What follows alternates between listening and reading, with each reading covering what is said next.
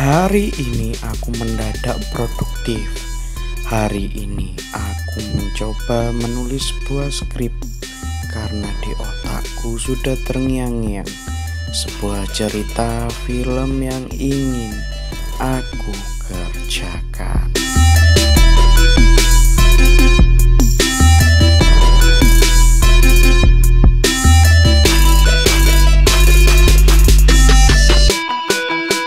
Ketika kamu memiliki sebuah ide di kepalamu, segeralah lakukan arsiping atau segera tulis karena otakmu nggak akan mampu untuk merekam semua hal yang muncul tiba-tiba.